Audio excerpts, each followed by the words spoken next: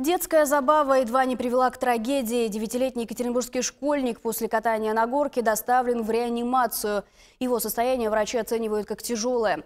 Сейчас ребенок находится в девятой детской больнице Екатеринбурга. В реанимации он подключен к аппарату искусственной вентиляции легких.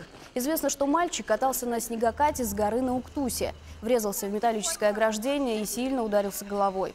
Врачи диагностировали у него перелом черепа. Школьнику проведена операция. Медики говорят, что ребенку предстоит длительное лечение. После того, как ребенок будет выписан, выписан из стационара, ему предстоит еще длительный период реабилитации и восстановления. То есть он будет наблюдаться у невролога в течение нескольких лет.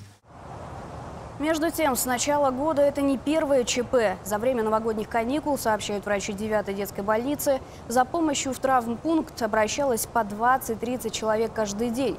И это при том, что выходные дни выдались морозными.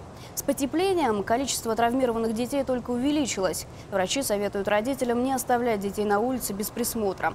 Инспекторы ГИБДД регулярно проводят профилактические мероприятия «Горка», выявляют опасные склонов, выходящие на проезжую часть.